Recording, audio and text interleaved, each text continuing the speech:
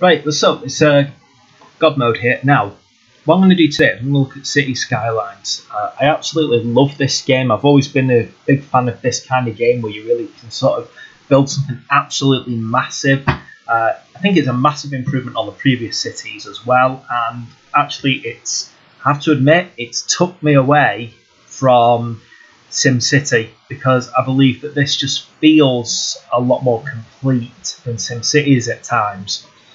Anyway, what we're looking at here is how to actually manage traffic flow. possibly one of the biggest issues when I started playing this game was working out how to do traffic flow. Obviously, you get these grand designs in your head, you want to do this, you want to do this, and then you find out that these highways where it actually joins become your biggest burden in the entire game. How to get tons of traffic flowing through that little intersection easily. Now, I picked a map where what we have is two ways into this town. Uh, what we actually want in the future is we want to make sure that when those two roads connect, it's a single continuous highway that doesn't have any any buildings on it, uh, which is, you know, probably one of the best ways to actually build a highway. Just make sure it flows right through. So here's the plan. I'm going to actually show you how to use a wonderful and typically eccentric British concept of the roundabout. now, what we're going to do is this. I'm going to actually create a roundabout at this intersection. Now, I need it to be one way, so I'm just going to upgrade that road there. Now, you want your traffic again to flow in all one direction. And the reason behind that is it really just does improve traffic flow. So, what I'm going to do is I'm going to make it quite large as well, this roundabout. And the reason behind that is actually to space out the junctions. You see, when you've got too many spaces, uh, too little space between your individual junctions, it finds it difficult, your traffic finds it difficult to properly flow around it. What we're going to do here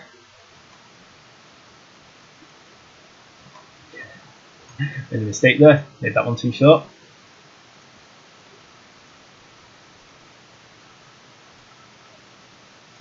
Is really get this roundabout built up nicely.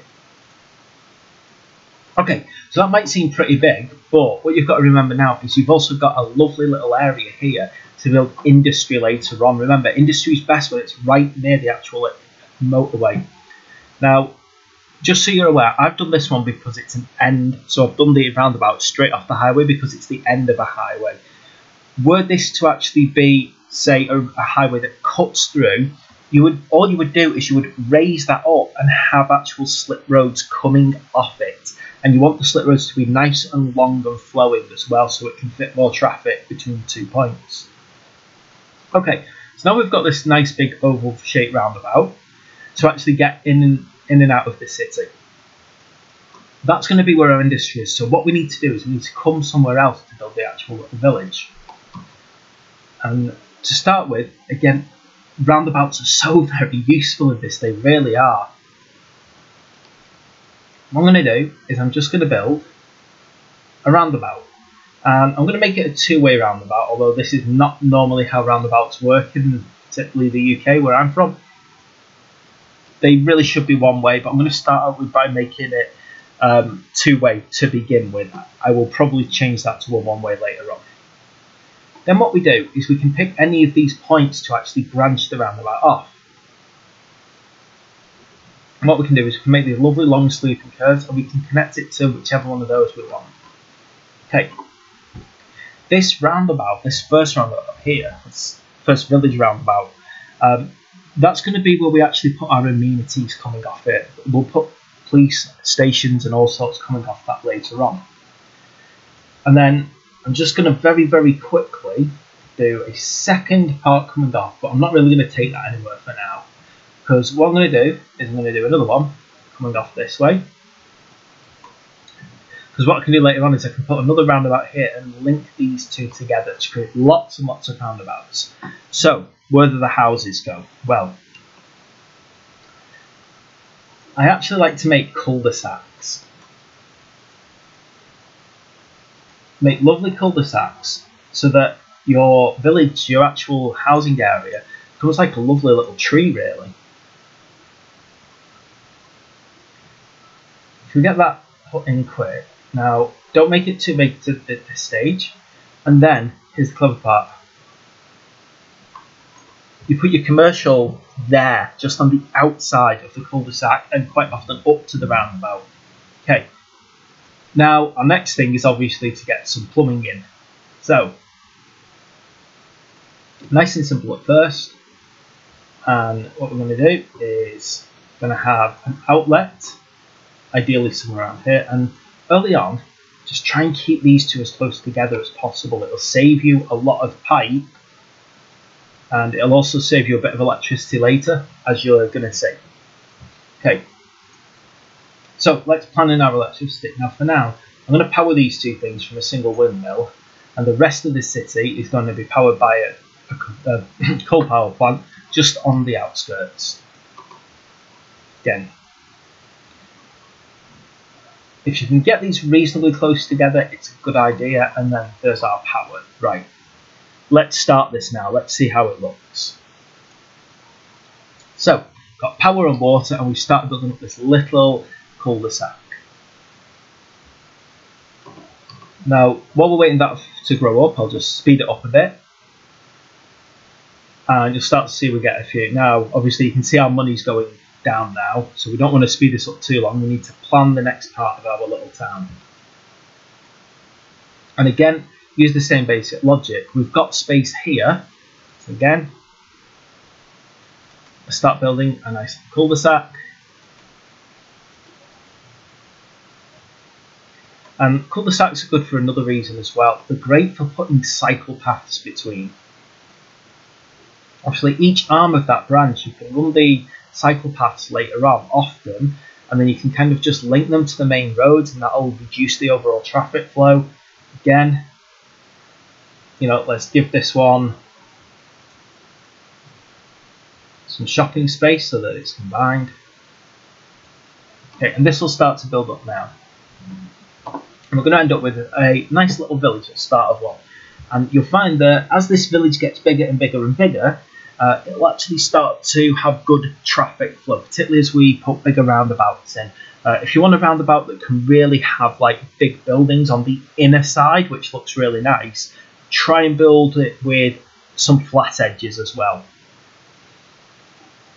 As you can see my town is building up. I'm still running at a loss at the moment, which isn't great, but hopefully that'll start to float back round. Now, I'll just pause it here As you can see the first demand for industries come in.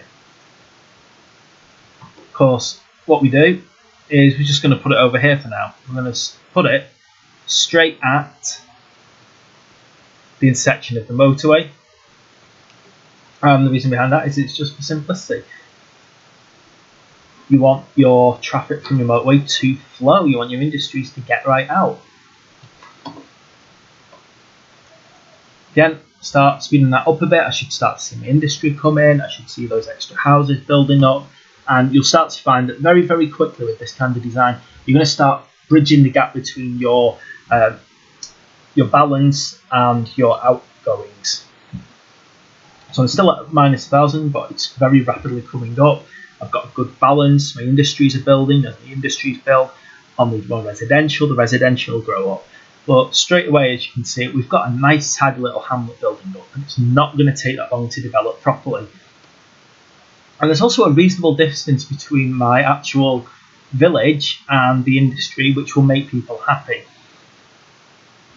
Okay, uh, what I'll do is I'm going to let this run really, really quickly, and then I'll come back to it when it's all built up a bit more.